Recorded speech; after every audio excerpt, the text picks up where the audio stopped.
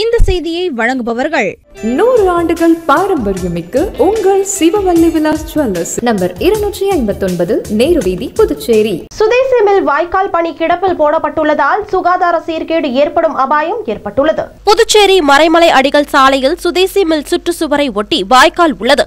இந்த வாய்க்காலில் முல்லை நகர் பெரியார் நகர் ஜேவிஎஸ் நகர் உள்ளிட்ட பகுதிகளில் மழைநீர் கழிவுநீர் வடிந்து செல்லும். மூடப்பட்ட இந்த வாய்க்காலின் மீது சுதேசி மில் சுவரை ஒட்டி கடைகள் அமைந்திருந்தன இதனால் ஆண்டு கணக்கில் இந்த வாய்க்கால் தூர்வாரப்படாமலும் சீரமைக்கப்படாமலும் இருந்தது.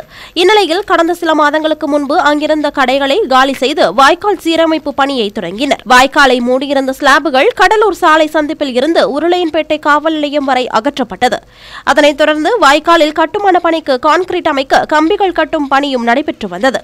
இந்நிலையில் திடீரென இந்த பணி நிறுத்தப்பட்டது. மாத கணக்காகியும் இந்த பணி மீண்டும் தொடங்கப்படவில்லை. இதனால் அங்கிருந்து இரும்பு கம்பிகளை இரவு நேரங்களில் பலரும் திருடி செல்கின்றனர். அதே நேரத்தில் வாய்க்கால் திறந்து கிடப்பதால் அதில் குப்பை கூலங்கள் சரிந்து தண்ணீர் தேங்க தொடங்கியுள்ளது. மழை நேரத்தில் இந்த வாய்க்காலில் தண்ணீர் தேங்கி உட்புற சாலைகளில் கழிவுநீர் செல்ல தொடங்கியது. சமீப காலமாக டெங்கு மலேரியா வைரல் காய்ச்சல் பரவி வரும் நிலையில் பிரதான சாலையில் வாய்க்கால் திறந்து கிடப்பதால் அங்கு கொசுக்கள் உற்பத்தியாகி பலவித நோய்கள் பரவும் அபாயம் உள்ளது. இந்த சாலையில் நாள் முழுவதும் போக்குவரத்தும் மக்கள் நடமாட்டமும் இருந்து வரும் நிலையில் நீண்ட காலமாக காத்திருந்தும் பணிகள் முடியாததால் அங்கு கடை வைத்திருந்த வியாபாரிகள் வேதனை அடைந்து வருகின்றனர். இதனை உடனடியாக சீரமைக்க வேண்டும் என பொதுமக்கள் மற்றும் சமூக ஆர்வலர்கள் கோரிக்கை விடுத்துள்ளனர். புதுச்சேரி உங்கள் ஏஎம்என் டிவி செய்திகளை யூடியூபில் உடனுக்குடன் காண ஏஎம்என் டிவி பாண்டிச்சேரி சேனலை சப்ஸ்கிரைப் செய்யுங்கள். பெல் பட்டனை மறக்காமல் கிளிக் செய்யுங்கள்.